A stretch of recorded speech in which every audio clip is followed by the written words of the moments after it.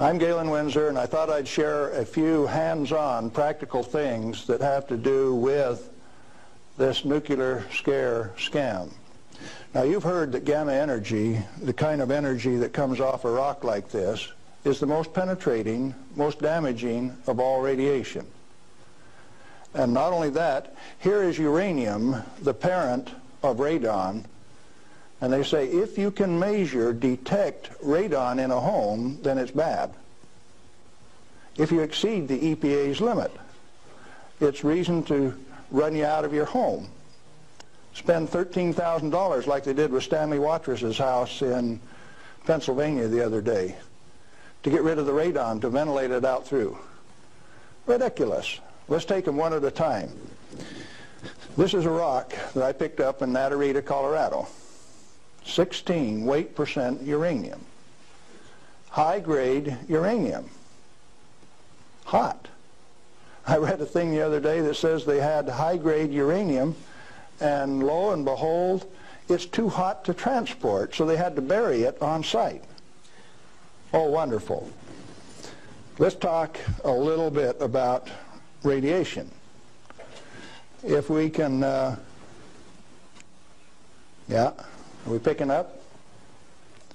If you put the probe right there, the meter goes off scale, and you can hear it, all right? Hot. Radiation, gamma radiation is the most penetrating of all radiation. Oh, is it? All it's got between the rock and the probe is my hand. Doesn't count so pretty much, does it?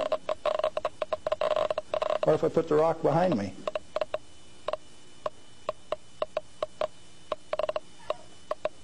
You don't suppose they've been lying to you, do you? I suspect they have. Well, let's do a little bit more. I got a black bottle. This stuff comes in white bottle. A bottle of NoDoz. You can send children down to the drugstore to buy NoDoz. All they need is money. In this are six 60 white caffeine pellets. And this one is uranium oxide, U3O8.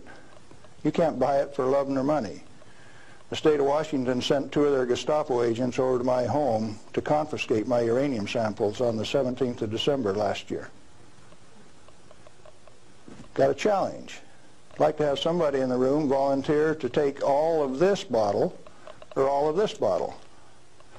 The only things I'll tell you is that one of them won't hurt you and the other one will kill you. Do you want the white stuff or the black stuff? White stuff? You do. There's enough in there to kill four men your size. The government says we got to ban this material. It's radioactive. Let's check it in the bottom of the bottle. Not very radioactive. Let's take the cap off. Oh goodness, very radioactive. This instrument will only count gamma, energy. It's just energy. Light's coming from those lights, only you're getting lots of infrared from the lights as well as ultraviolet energy response, and it's very carefully damped to only discriminated so it only gets the energy that comes from this. I don't want it to respond to a light, just to this. Cost me $1,000 to get an instrument that will just respond to this and not to that. This is radioactive by any definition. Radioactive material giving off radiation that is read by an instrument like this. The daughter of this, radon, cannot be read on this instrument because it gives off alpha particles. An alpha particle is a di-positive uh, particle that comes from the nucleus. It has two protons and two neutrons, therefore an atomic weight of four, and it's minus two electrons. And if you grab it with a high ionization potential counter, it'll count. But if it travels two inches in air or through a piece of paper, it picks up two electrons, two beta particles, if you will, and becomes helium gas, and it won't count on an ionization chamber. Did you know that this thing right here is giving off helium gas? Alpha comes from uranium. Okay, radioactive material. You pour it out in the hand, and that's radioactive contamination. Is it radioactive? Yeah, it is. Very radioactive. Now, decontamination is nothing but scooping it back up and putting it into the bottle. I just now decontaminated my hand. No, I didn't do such a good job. Not good at all. Is it still radioactive? Yeah, that's called residual radioactivity. Now, under the decontamination rules of the government, when you decontaminate somebody like this that's that contaminated, and this is certainly a reportable incident under current DOE regulations, when you decontaminate him, it has to go down a controlled drain so that you don't disperse radioactivity. Do I qualify as a controlled drain?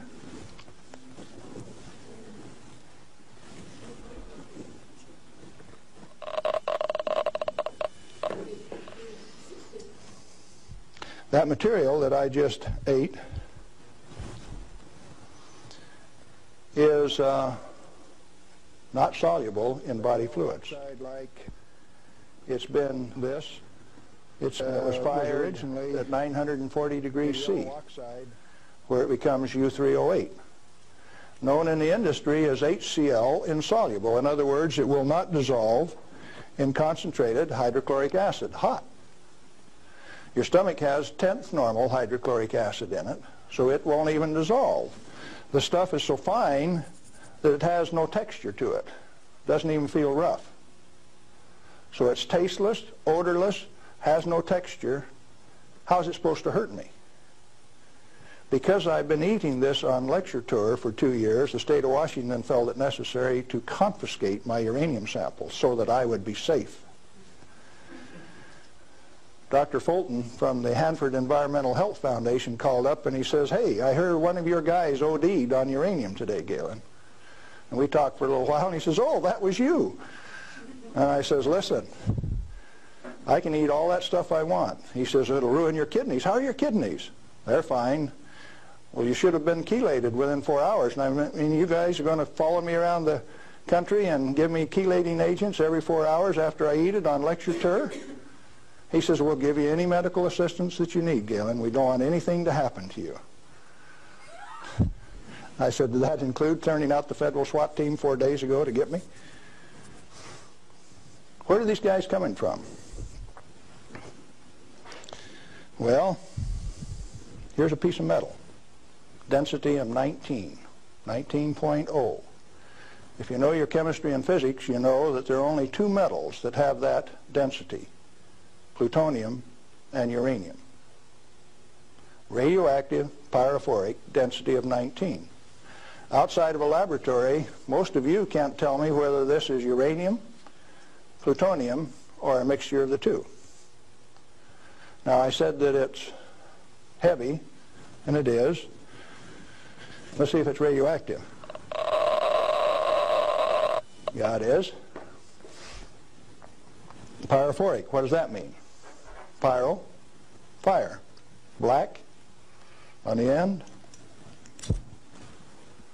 The spark that just came off there is pyro, fire, burn. If it's plutonium, I just contaminated this area of Arizona in excess of the EPA's limit for one square mile of surface.